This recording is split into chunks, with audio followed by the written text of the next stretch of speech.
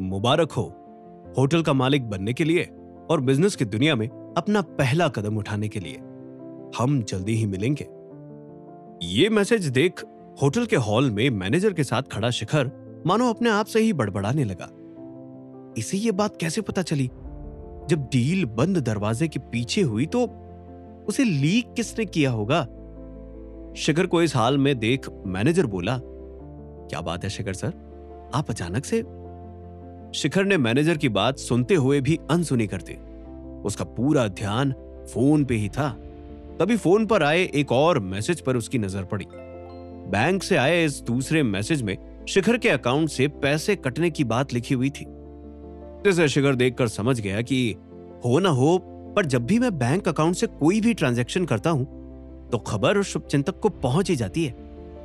ये बात समझ आते ही शिखर ने चैन की सांस ली। और मैनेजर को बाय कहते हुए अपने कॉलेज के लिए निकल गया। शिखर अपने लिए एक पेन खरीदने रास्ते में बस एक स्टेशनरी की दुकान पर रुका। इतने दिनों से उसने अपने लिए एक पेन तक नहीं खरीदा था। बस दूसरों से मांगते हुए अपना गुजारा कर रहा था। शिखर क्लास में जैसे ही घुसा, बाकी स्टूडेंट्स आपस में फसफसाते हुए हंसने लगे। शिखर सबको नजरअंदाज करते हुए अपनी कुर्सी की ओर जा ही रहा था कि अंकुश उसे सामने से रोक देता है। और बोलता है सॉरी ब्रो कल सेल्फीज लेते लेते हम कब वहाँ से कहीं दूर निकल गए पता ही नहीं चला। वैसे तुम वहाँ से कैसे निकले? पैसे तो होंगे नहीं तुम्हारे पास। पर रात भर वहाँ बर्तन मांझे या फिर बिना पैसे दिए ही भाग आए? अंकुश की इस बात को सुन आस पास सभी ने फुसफुसाना छोड़कर खुलकर शिखर पर हंसना शुरू कर दिया। शिखर ने सब नोटिस करते हुए अंकुश को बड़े ही प्यार से जवाब दिया। वो एक्चुअली मैंने होटल ही खरीद लिया। फिर किसी ने मुझसे खाने के पैसे मांगे ही नहीं। और फिर बड़े ही स्वैग के साथ अपनी जगह पर बैठ गया। अंकुश ने ज़ोर से हँसते हुए पूछा, तू और होटल खरीदेगा? जिसके उस होटल के बॉस से बात करने तक की हैसियत नहीं है, वो होटल खरीदने की बात कर रहा है। यार, इतनी बड़ी बड़ी तो मैं भी नहीं फेंकता।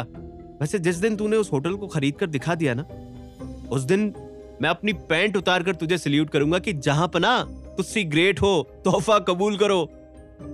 शिखर ने बस एक हल्की सी मुस्कान दी और अपनी सीट पर बैठ गया।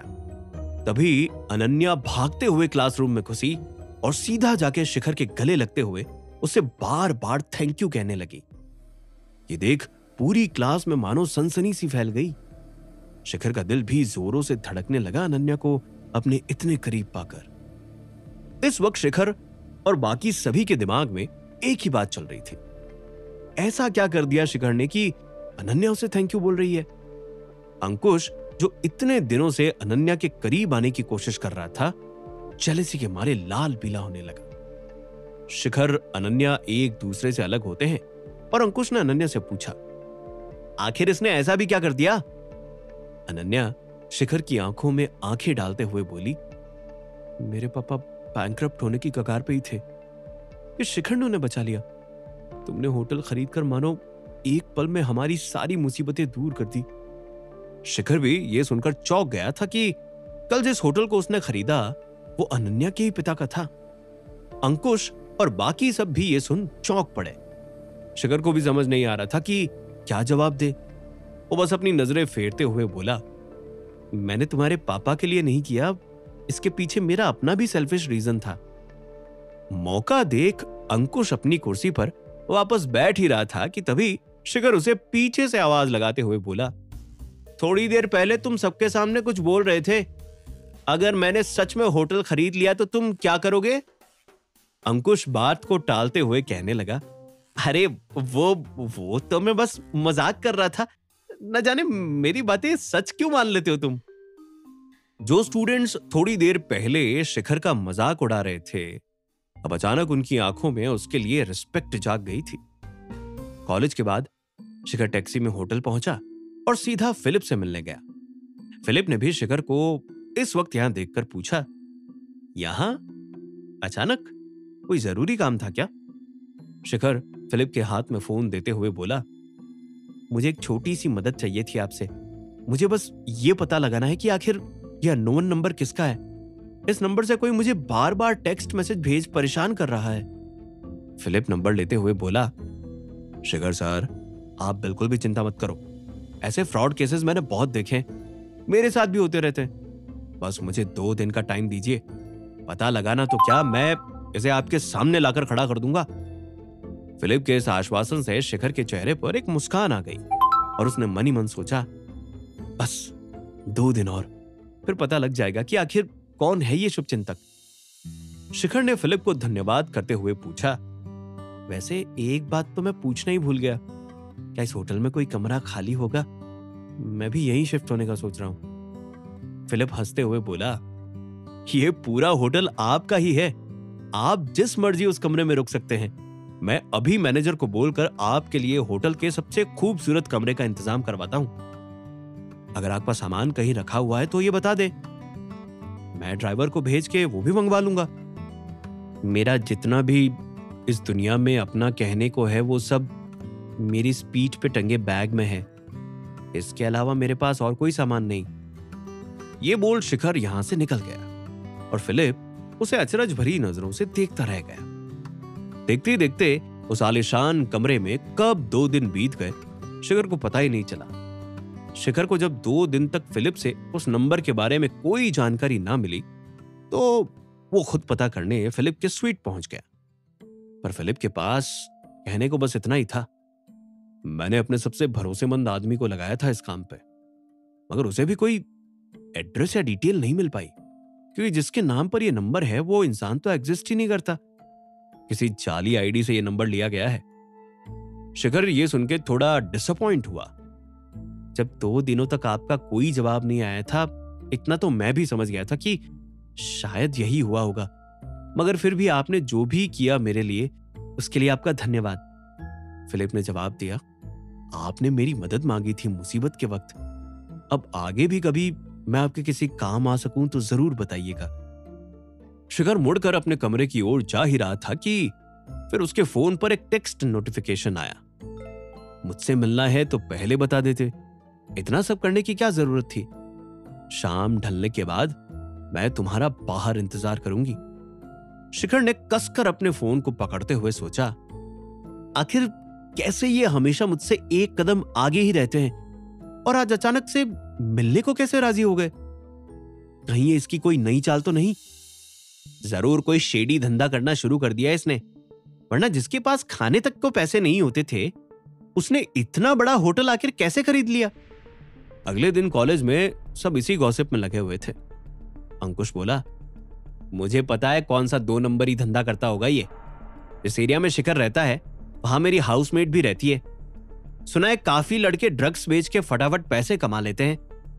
इसने भी यही किया होगा। क्या सच में शिखर अब ऐसे काम करने लगा है?